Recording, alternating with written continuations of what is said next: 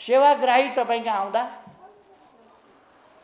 यो नेपाल निजामती कर्मचारी सङ्गठनको कर्मचारी रहेछ क्यार भन्ने कुरा तपाईँ कहाँ आउँदा थाहा पाउनुपर्छ। फाइल रोकिएन पैसाको आश गरिएन पैसा खोजिएन भोलि आउनु भनिएन पाँच मिनट पर्खिएर पनि आज समय सिद्धियो भन्नको सट्टा पाँच मिनट पर्खिएर पनि त्यो काम गरिदिएर भोलि आउनु भनेको गाउँबाट आएको सर्वसाधारणलाई सजिलो कुरा छैन।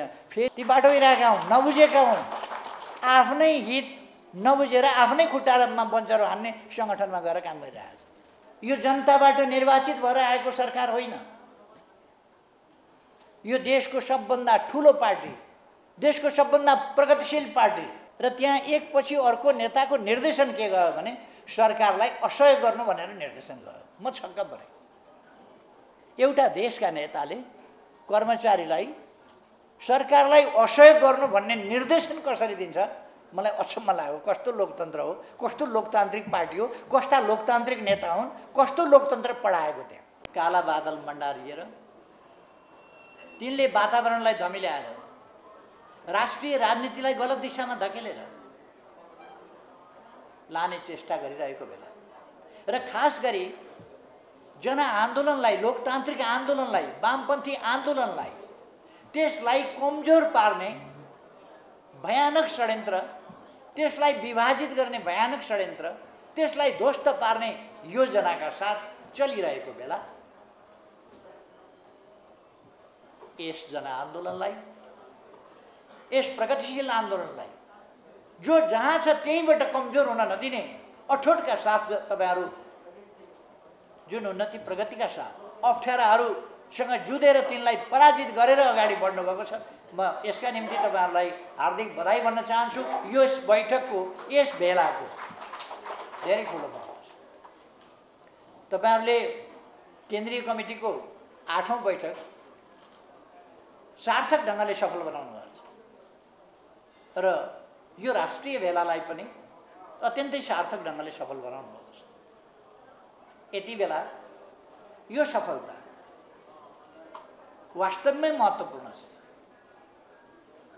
त्यस कारण मैले तपाईँहरूलाई हार्दिक बधाई भनेको अघि पछि सजिला बेलामा ठुला गफ गर्नेहरू धेरै भेटिन्छ।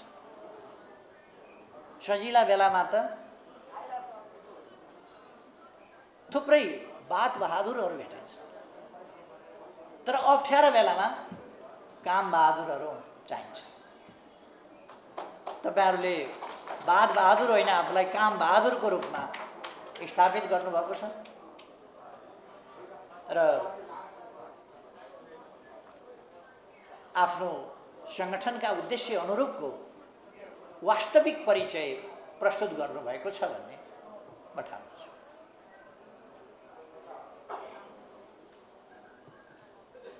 तपाईँहरूले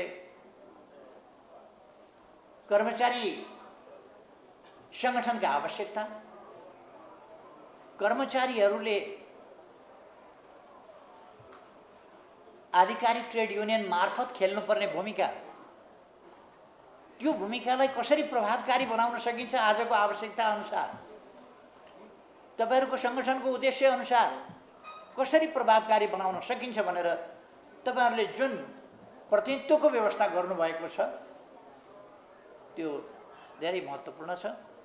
म तपाईँहरूलाई त्यसका निम्ति पनि बधाई भन्न चाहन्छु। सङ्गठनले जो साथीहरूलाई छानेर त्यहाँ पठाउनु भएको छ कति दसजना कति पठाउनुपर्छ? एघारजना। दसजना नयाँ। सबै साथीहरूलाई म बधाई भन्न चाहन्छु। अहिले पुनर्गठित ढङ्गले जब तपाईँहरू आयोजक समितिमा परिणत हुनुभयो आयोजक समितिमा पदाधिकारीदेखि लिएर सम्पूर्ण आयोजक समितिका सदस्यहरू तपाईँहरूले अत्यन्त महत्त्वपूर्ण जिम्मेवारी पाउनुभएको छ यस चुनौतीपूर्ण घडीमा घडी चुनौतीपूर्ण छ। तपाईँहरूको सक्रियता हिजोभन्दा डबल आवश्यक छ आवश्यकता छ आज। हिजोभन्दा बढी बढी मात्रै होइन दुई गुणा बढी कमसेकम तपाईँहरूको सक्रियता आवश्यक छ। आज। तपाईँहरूलाई भत्काउन फुटाउन विभाजित गर्न चुड्न कमजोर बनाउन मनोबल टुटाउन अल्मल्याउन अनेक शक्तिहरू। कोही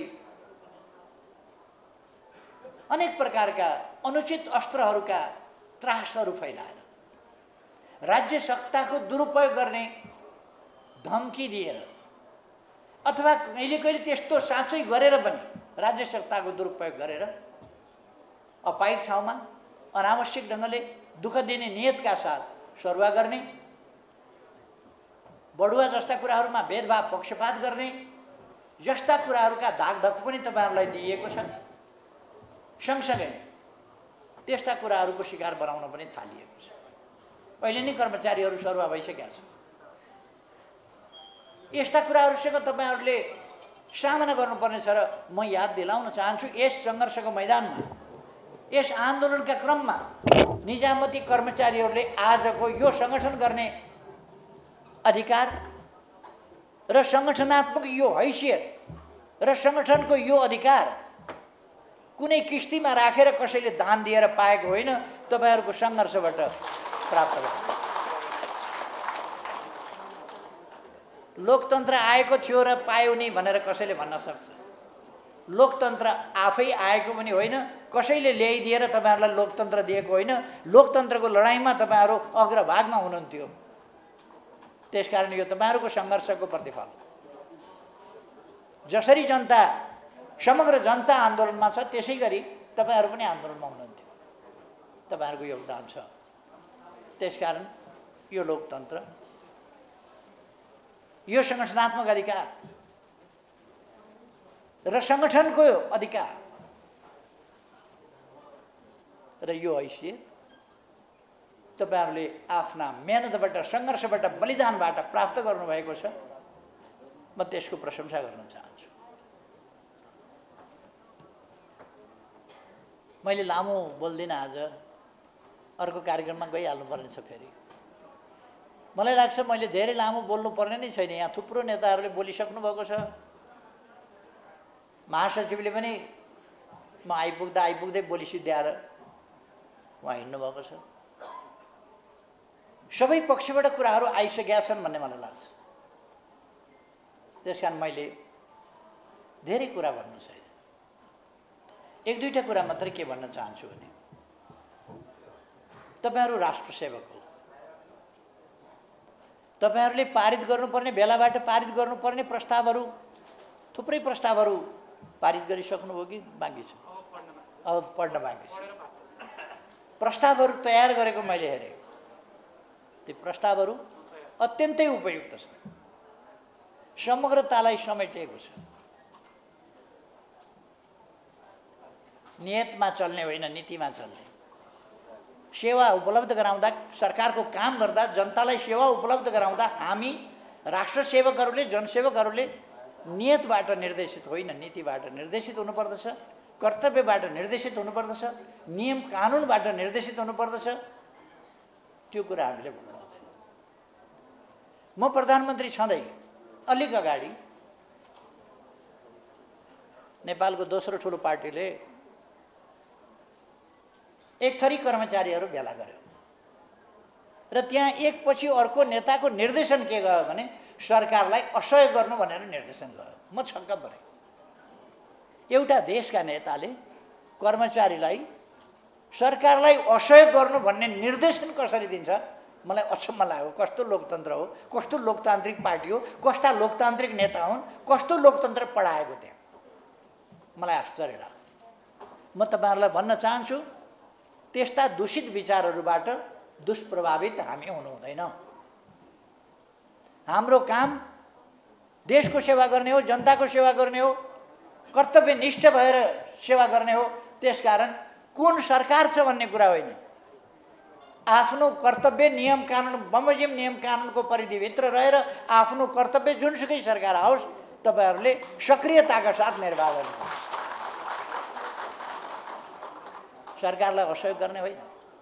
सरकारलाई असहयोग गर्ने भनेको काम नगर्ने हो काम नगर्ने भनेको देश विकासलाई अझ पछाडि पार्ने हो। यो बुद्धि त काङ्ग्रेस र माओवादी केन्द्रको जस्तो भएन। यस्तो बुद्धिका पछाडि लाग्नु हुँदैन। हामी राष्ट्र सेवक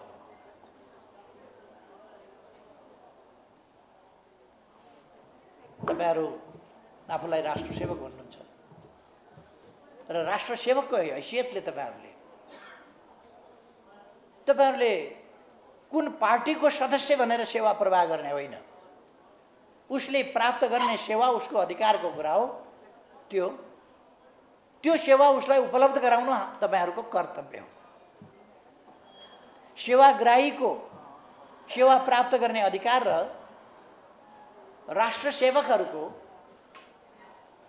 सेवा उपलब्ध गराउने कर्तव्य यस कुराबाट हामी तलमाथि हुनु हुँदैन भन्ने कुरा विचार गर्नुपर्छ यो कहिल्यै पनि हामी तलमाथि हुनु हुँदैन तपाईँहरूको काँधमा बहुत गहन जिम्मेवारी छ देशमा अझै पनि भ्रष्टाचार छ देखे कारवाही गर्ने नदेखे त फेरि नदेखेको त अब एकदम राम्रै शुद्धै भइगयो। तर हामीले नदेखिकन चाहिँ भ्रष्टाचार गर्ने गर्नु हुँदैन। हामी स्वच्छताको प्रतीक हुनुपर्दछ स्वच्छताको उदाहरण हुनुपर्दछ भ्रष्टाचार विरोधको उदाहरण हुनुपर्दछ र आफू पनि भ्रष्टाचार गर्न नदिने आफू पनि नगर्ने अरूलाई पनि गर्न नदिने नीति अवलम्बन गर्नुपर्छ मैले प्रधानमन्त्री छँदा प्रधानमन्त्री भएकै दिन घोषणा गरेको थिएँ। म आफू पनि भ्रष्टाचार गर्दिनँ अरूलाई पनि भ्रष्टाचार गर्दिनँ दिन्न। त्यसले भ्रष्टाचारीहरूको मनमा ढ्याङ्ग्रो ठोक्यो। उनीहरूले सबै उस्तै त हुन् नि भनेर कहिले के नाममा उछालेको छ कहिले के नाममा उछालेको छ हिलो छापेको छ यस प्रकारका दुष्प्रचारहरू सबै उस्तै त हुन् नि। तिनले भ्रष्टाचार गरे भने पनि उस्तै त हो नि भन्ने पार्नका लागि त्यो सब हल्ला चलायो आज आज देखिन थालेको छ। सोझै सेटिङमा कसलाई भन्सार छुट दिने कसलाई भन्सार नदिने के गर्ने कसो गर्ने भन्ने यो अरबौँको खेल भइसक्यो। कसरी यति बेर यो बिचमा आएर करका दरहरू यत्रो ठुलो ढङ्गले देशलाई अरबौँको अरबौँ मात्रै होइन यो खरबौँको तल माथि पर्ने गरी कसरी हेरफेर गरी सबै सेटिङ होइन भन्न सकिने ठाउँ छैन। मान्छेहरू खुलेआम भनिराखेका छन् यो सेटिङ भयो सञ्चार माध्यमले लेखिराखेका छ बोलिराखेका छ। सेटिङ भयो। भएन भन्ने ठाउँ छैन। म राष्ट्र सेवक कर्मचारी मित्रहरूलाई तपाईँहरूलाई भन्न चाहन्छु खास गरी निजामती नेपाल निजामती कर्मचारी सङ्गठन क्लिननेसको स्वच्छताको प्रत्येक सङ्गठन हुनुपर्छ। कसैले घुस खुवाउन खोज्यो भने पनि खान्न भन्ने गर्नुपर्छ तपाईँहरूले मलाई सरकारले तनखा दिएको छ म त्यो तनखामा काम गर्छु। म कमिसन एजेन्ट होइन म भ्रष्टाचारी होइन म भ्रष्ट होइन र भ्रष्टाचार गर्दिनँ भनेर तपाईँहरूले भन्नुपर्छ। सरकारलाई भ्रष्टाचार गर्न नदिनका निम्ति रखबारी पनि गर्नुपर्छ। तपाईँहरूले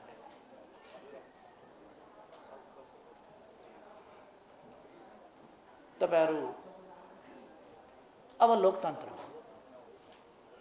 विरोधका तरिकाहरूलाई शैलीहरूलाई एकदम संयमित ढङ्गले अगाडि लानुपर्छ यो सरकार अत्यन्तै अन्यायपूर्ण ढङ्गले दमनकारी ढङ्गले उत्रिन थालेको छ यो सहज ढङ्गले बनेको स्वाभाविक बाटोबाट आएको सरकार होइन यो जनताबाट निर्वाचित भएर आएको सरकार होइन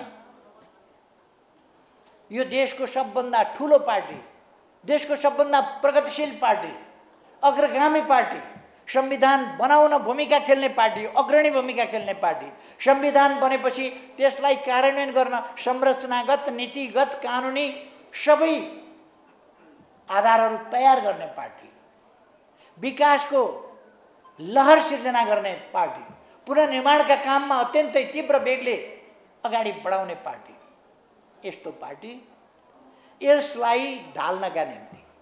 अहिले कुनै सहज प्रक्रिया भएको छ र भन्नुहोस् त पाँच पार्टीहरू। पाँच पार्टी। पाँच पार्टी जनादेश छ। कोही एक्सिड भएको छ पाँच पार्टी। कोही अवैध ढङ्गले दर्ता भएको छ। हामीले साउन पच्चिस गते निकालेका मान्छेहरू सांसद भनेर केन्द्रीय सदस्य भनेर दर्ता गरेर लगेका छ। निर्वाचन आयोग तमासा गर्छ। सभामुख सभामुखको मर्यादा नराखेर तमासा गर्छन्। यस विषयमा म अहिले जान चाहन्न धेरै। तर यो सरकार स्वाभाविक ढङ्गले आएको होइन। यो बडो विचित्र ढङ्गले असंवैधानिक ढङ्गले सरकार जन्मिने ठाउँमा होइन। यो अनौठो ढङ्गले परमादेशबाट आयो। संसदबाट प्रधानमन्त्री छानिएन। प्रधानमन्त्री नियुक्त हुने रित पुगेर होइन। परमादेशबाट प्रधानमन्त्री छानियो परमादेशबाट सरकार बन्यो। र यो अस्वाभाविक ढङ्गले अस्वाभाविक उद्देश्यका साथ त्यसका लागि बनेको सरकार। त्यस कुरालाई हामीले एका राख्नुपर्छ र यो अत्यन्तै गैर जिम्मेवार यो जनताप्रति उत्तरदायी सरकार होइन। गैर जिम्मेवार फेरि जनताका बिचमा जानुपर्छ भन्ने चुनाव भनेपछि अस्ति नै देख्नु भएन तपाईँहरूले। चुनाव भनेपछि त प्रतिगमन भनेर कराएको देख्नु भएन। थरथर कामदै डराउँदै चुनाव प्रतिगमन हुन्छ त अब के? अब एक वर्षपछि प्रतिगमनै हुने भयो त देशमा। अब एक वर्षपछि त चुनाव गर्नुपर्छ चौध महिनापछि। चौध महिनापछि त अनिवार्य चुनाव गर्नुपर्छ। के देश अनिवार्य रूपमा प्रतिगमनमा जाने भयो त चुनाव हुँदा? जनादेश आउँदा चुनाव प्रतिगमन हुने भयो। संविधान मिचिने भयो त। कस्तो शासन खोजेका छन् यी तानासाहरूले चुनाव टाल्ने खाल। तर कुनै पनि हिसाबले चुनाव नगराएर धर छैन। चुनाव गराउन यिनीहरू बाध्य छन्। तपाईँहरूलाई अलिक दुःख कष्ट यस बिचमा दिन सक्छन् धेरै चिन्ता नगर्नुहोस्। चौध महिनामा चुनाव हुन्छ पन्ध्र महिनामा सरकार बन्छ यी कता हराउँछन् कता बिलाउँछन्।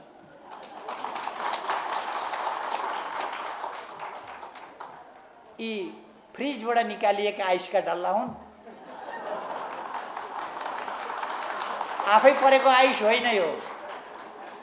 फ्रिजमा बनाइएका आइसहरू यी डल्ला बाहिर राखिदिएपछि एकछिनपछि पग्लिएर त्यसकारण धेरै चिन्ता गर्नु पर्दैन।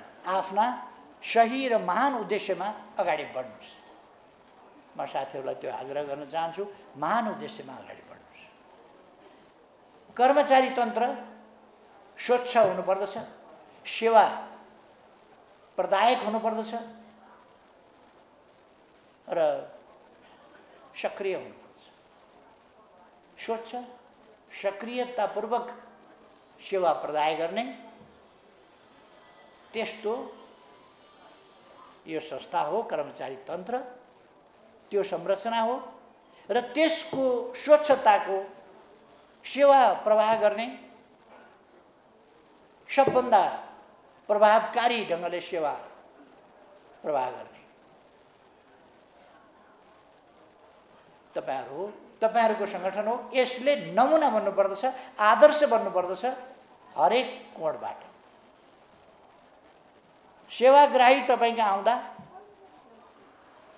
यो नेपाल निजामती कर्मचारी सङ्गठनको कर्मचारी रहेछ क्यार भन्ने कुरा तपाईँ कहाँ आउँदा थाहा पाउनुपर्छ फाइल रोकिएन पैसाको आश गरिएन पैसा खोजिएन भोलि आउनु भनिएन पाँच मिनट पर्खिएर पनि आज समय सिद्धियो भन्नको सट्टा पाँच मिनट पर्खिएर पनि त्यो काम गरिदिएर भोलि आउनु भनेको गाउँबाट आएको सर्वसाधारणलाई सजिलो कुरा छैन। फेरि एक रात थप होटलमा बस्नु पऱ्यो फेरि दुई छा थप खाना खाने खर्च गर्नु पऱ्यो उसले सजिलोसँग त्यो पैसा ल्याएको त्यो कुरालाई त्यस मर्मलाई हामीले बुझेर गरिबका मर्मलाई बुझेर हामीले सेवा प्रवाह गर्नुपर्छ। तपाईँहरूको आफ्नो निजामती कर्मचारीहरूको हक हितका प्रश्नहरू वृत्ति विकासका प्रश्नहरू तपाईँ माथि कुनै ज्यादती अन्याय हुन नपाओस् भन्नका लागि गर्नुपर्ने कामहरू। यसका निम्ति तपाईँहरूले चढाएको हुने आवाज उठाउने र सबभन्दा बढी आधिकारिक ट्रेड युनियन मार्फत सरकारसँग डिल गर्ने सरकारलाई उपयुक्त ढङ्गले प्रस्ताव राखेर दबाब दिने। कहिले कहिले उपयुक्त सरकार भयो भने साधारण दबाब दिँदा ध्यान आकर्षण गर्दा पुग्छ। कहिले कहिले बुझाउन गाह्रो पर्ने सरकार हुन्छ त्यसलाई अलिक बुझ्ने गरी भन्नुपर्ने खण्ड पनि आउँछ। त्यस्तो अवस्थामा वर्षक हामी पनि ध्यान दिन्छौँ कि सरकार जथाभावी स्वेच्छाचारी ढङ्गले नचलोस् दमनकारी भएर नजाओस् लोकतान्त्रिक र कानुनी राजको हिसाबले सरकार चलोस् हाम्रो ध्यान त्यतापट्टि हुन्छ। यतापट्टिका कर्तव्यहरू पनि तपाईँहरूले पुरा गर्नुपर्नेछ। आफ्नो सङ्गठन आफ्ना सङ्गठनका उद्देश्यहरू यिनीहरूलाई लिएर तपाईँहरू कर्मचारीका बिचमा व्यापक रूपले जाने। अब त हाम्रो एकता पनि भइगयो धेरै साथीहरू झन् आइसक्नुभयो झन् हामी मजबुत भइसक्यौँ। अब आठौँ बैठकले आयोजक समिति बनाइसक्यो अब एघारौँ राष्ट्रिय अधिवेशन हुन्छ त्यसो भएपछि हामी एकदम सुरु सुरु अगाडि बढ्छौँ मात्रै भनेर हुँदैन। तपाईँहरू हरेक कर्मचारीका बिचमा जानुपर्छ। जो तपाईँहरूको कर्म सङ्गठनमा हुनुहुन्न ती सबै बाटो बिराएका हुन् भन्ने तपाईँले ठान्नुपर्छ ती बाटो बिराएका हुन् नबुझेका हुन् आफ्नै हित नबुझेर आफ्नै खुट्टामा बन्चरो हान्ने सङ्गठनमा गएर काम गरिरहेको छ तिनलाई त्यहाँबाट उन्मुक्ति दिनुपर्छ तिनको उद्धार कसले गर्ने? तिनको वैचारिक उद्धार। धेरै प्रकारका रेस्क्यु हुन्छन् नि। तिनको वैचारिक रेस्क्यु। त्यो उद्धार चाहिँ तपाईँहरूको सङ्गठनले गर्नुपर्छ। जिल्ला जिल्लामा कार्यालय कार्यालयमा। किन तपाईँहरूको सङ्गठन ठिक छ? यस्तो हुन पऱ्यो भने कतै मार्क्स वितरण गर्दाखेरि पनि यस्तो सुरु गरिसकेका छन् कतिपय ठाउँमा कि पार्टीको चिन्हको मार्क्स कर्मचारीले लगाउनै पर्ने त्यस्तो पनि वितरण गर्न थालेको छ यस्ता कुराहरूलाई हामीले सोझै अस्वीकार गर्नुपर्दछ र त्यो हटाउनु पर्दछ कुनै पनि कर्मचारीलाई करकाप दबाब कुनै प्रकारकोले आफ्नो सङ्गठनमा ल्याउनु हुँदैन। फेरि हामी पनि अलोकतान्त्रिक भइहाल्छौँ। विचारले कन्भिन्स गरेर होइन कुनै प्रकारको दबाब दिएर हुनसक्छ कुनै ठाउँमा हामीभन्दा मातहतमा कुनै कर्मचारी होला। त्यसो भने उसलाई दबाब दिने जस्ता खालको कामहरू हुनु। दबाबबाट होइन। स्वेच्छाको विषय बनाउनुपर्छ। हाम्रो सङ्गठनमा प्रवेश गर्ने कुरा सरिक हुने कुरा सङ्गठित हुने कुरा छनौटको विषय हुनुपर्दछ कर्मचारीहरू। छनौटको विषय रोजाइको विषय हुनुपर्दछ। हाम्रा विचार हाम्रा व्यवहारहरूले हाम्रा मान उद्देश्यहरूले ती उद्देश्य विचार र व्यवहारबाट आकर्षित गरेर नै हामीले उनीहरूलाई सङ्गठित गर्नुपर्छ। तपाईँहरूको उच्च मनोबल देखेर मलाई खुसी लागेको छ। यसले तपाईँहरूलाई सफलतातिर डोर्याउँछ पुर्याउँछ भन्ने मैले ठानेको छु। र मैले अघि नै भने तपाईँहरूले दसौँ राष्ट्रिय अधिवेशनबाट निर्वाचित केन्द्रीय कमिटीलाई अब महाधिवेशन आयोजक कमिटीमा परिणत गर्नुभएको छ। आयोजक समितिलाई म समयमै सम्मेलन राष्ट्रिय सम्मेलन एघारौँ राष्ट्रिय सम्मेलनको सफलतापूर्वक आयोजनाको तीव्र तयारीमा जुट्न र त्यसलाई सफल बनाउन आग्रह गर्न चाहन्छु। तपाईँहरू त्यसमा जानुहोला। तपाईँहरूका प्रस्तावहरू मलाई धेरै राम्रो लागेको छ। ती प्रस्तावहरूलाई तपाईँहरूले कार्यान्वयन गर्नुपर्नेछ त्यसमा जुट्नु होला भन्ने मलाई लाग्छ। तपाईँहरूले एकता गर्नुभएको छ। एकतामा साथीहरू समाहित हुनुभएको छ।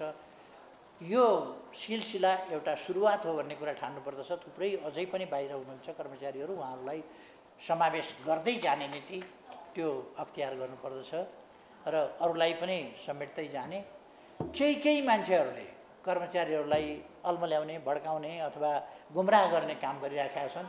तिनीहरूका चङ्गुलबाट तिनीहरूका चङ्गुलबाट छुटाएर तपाईँहरूले आफ्नो सङ्गठनमा उनीहरूलाई आकर्षित गर्ने र गोलबन्द गर्ने काम गर्नुपर्दछ।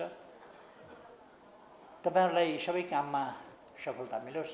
फेरि एकपल्ट तपाईँहरूलाई सफल आयोजनाका लागि यो आठौँ बैठक आयोजक कमिटीको निर्माण साथीहरू प्रवेश र अरू राष्ट्रिय भेला सबैको सफलता तपाईँहरूले अत्यन्तै सफल ढङ्गले आयोजना गर्नुभएको छ। यसका निम्ति बधाई भन्न चाहन्छु धन्यवाद भन्न चाहन्छु।